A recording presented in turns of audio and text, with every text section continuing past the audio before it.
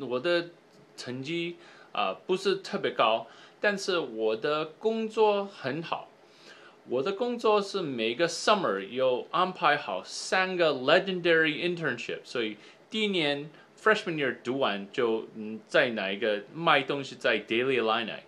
第二年念完了，我第二年的暑假我就去卖车子，第三年读完了我就又去卖呃车子，但是大的车车子公司不是小的车子公司，所以我现在